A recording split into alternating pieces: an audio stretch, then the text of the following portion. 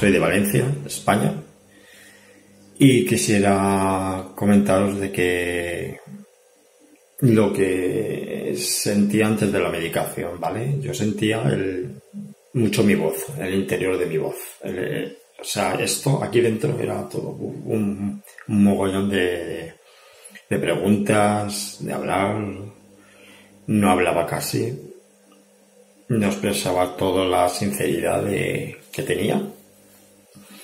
Y cogía y, y me quedaba siempre la duda de cuando estaba en el colegio, cuando veía que la gente leía y me expresaba en unos libros como si fuera mis sueños, los mismos sueños que tengo yo, pero la gente leyendo.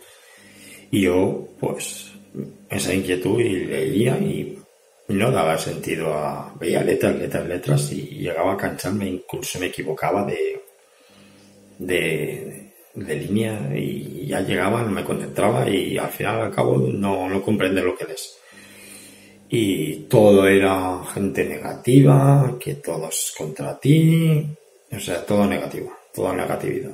Entonces, te encierras en ti mismo y no, no sacas el, el yo que llevas aquí dentro. Entonces, a partir de cuando me dediqué, pues, de estar viendo la gente así, pues ya, desapareció. Fue una cosa de, decir, ¿qué me he perdido yo? Entonces, este que está hablando yo aquí en estos momentos, pues es el que estaba aquí dentro. Yo no podía ahora, por ejemplo, hacer la grabación, porque estaría dando vueltas y no haría la grabación.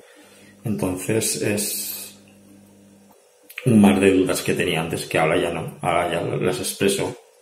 Entonces, eh, la positividad, que entiendo más a la sociedad no la llegas a entender todo, porque no la entiendes, porque eres TDAH, pero entiendes, entiendes algo mejor a la gente que, que tú no entendías antes de medicarte.